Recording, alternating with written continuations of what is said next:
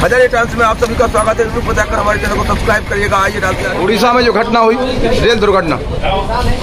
Rail दुर्घटना उड़ीसा में। छाया में उड़ीसा में दुर्घटना हुई है। बालासोर बालासोर ये बहुत दुखद घटना है। तो काफ़ी इसमें जनता और हमारे माननीय देश के प्रधानमंत्री और माननीय रेल मंत्री जी, माननीय मुख्यमंत्री जी, सभी को इस घटना का दुख, व्याप्त है पूरी जनता में दुखी है।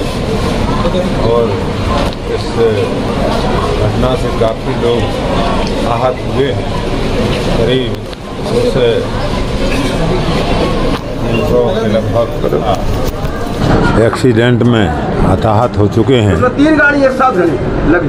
हाँ, ये तो बहुत बड़ी बात है वो बहुत गलती जिसकी है उसकी माननीय प्रधानमंत्री जी ने कह दिया है कि इसकी जाँच कराई जाएगी और सही ढंग से जाँच कराई जाएगी। इसमें चूँकि सभी को हॉस्पिटल भेज दिया गया है और सभी को हर व्यक्ति की देख रेख सही ढंग से डॉक्टर से लोग इलाज कर रहे हैं और पूरा देश में बहुत बड़ा दुख आया।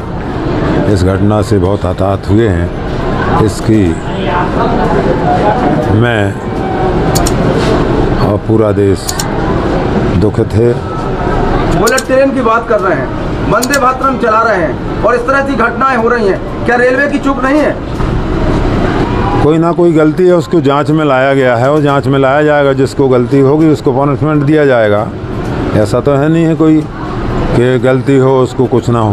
नगर निकाय चुनाव में आप दो सीटें हारे इस पर क्या आपका मंथन चल रहा है? क्या मंथन? हारे माने हारे, मंथन क्या करना है? माने हारे, मंथन क्या करना है? माने हारे, मंथन क्या करना है? माने हारे, मंथन क्या करना है? माने हारे, मंथन क्या करना है?